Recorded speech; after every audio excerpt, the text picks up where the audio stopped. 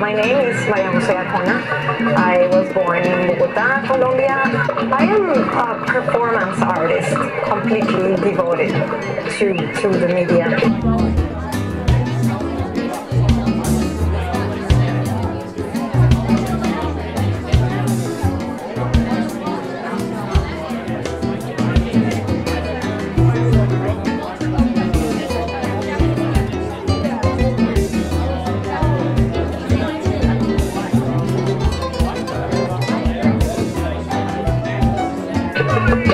Of the performance that I was carrying the wolf in the cart.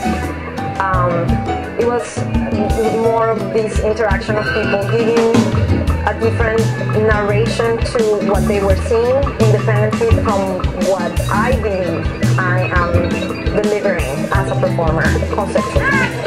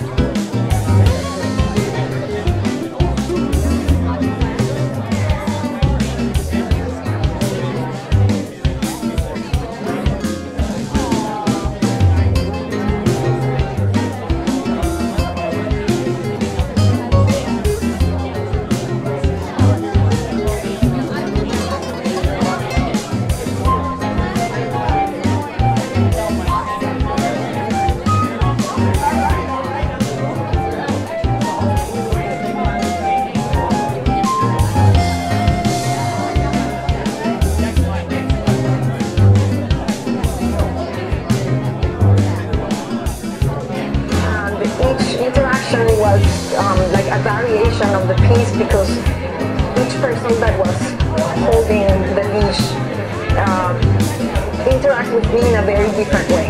There was like a power struggle or there was sometimes like this kind of I am taking you but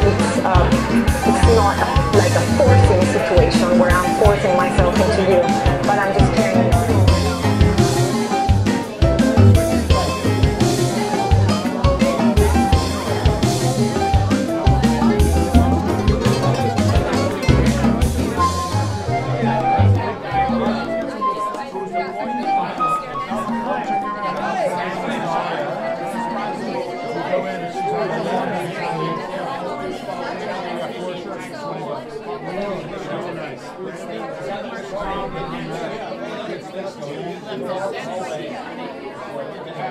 you.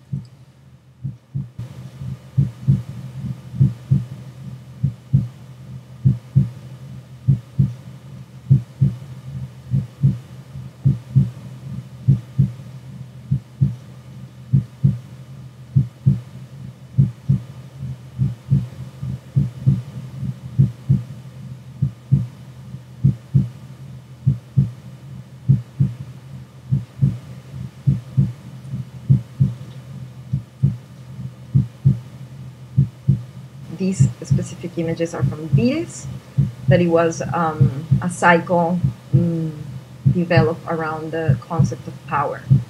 Power in different forms. So each form had like a performance. I was dealing with luck and destiny, liberating liberation processes where I had 37 locks distributed around the mm, major chakras and minor chakras of my body. And then the audience would have to choose a key and unlock these kind of straps. Um, and in a way liberate also their own selves. The, the, the, experience here at location was, was very interesting, and that's also part of the topic we're talking about, and it's how experiences change in different places. In Italy, the, the work worked in a very specific way. When I was in Vienna, actually, there was no interaction whatsoever. People did not interact, did not wanted to unlock anything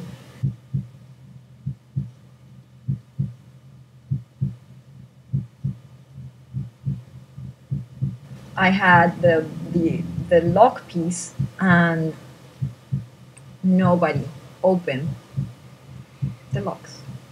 And I can remain in this suit for a certain amount of hours only. Um, what happens? And the curator asked me many times, what if nobody uh, interacts? And the beauty also of these pieces in a way is that even without the interaction, the piece is allowing you to see and to feel something about the people not interacting. It says something about a social body in a wider spectrum, you know, of the difference with, like, let's say here, of people really being concerned and allowing themselves to go through the process of liberating a body, but actually trying to liberate themselves through this process. So there is an understanding of the other. Yeah, and I want to trust the body again. We are trusting every time more te- technology.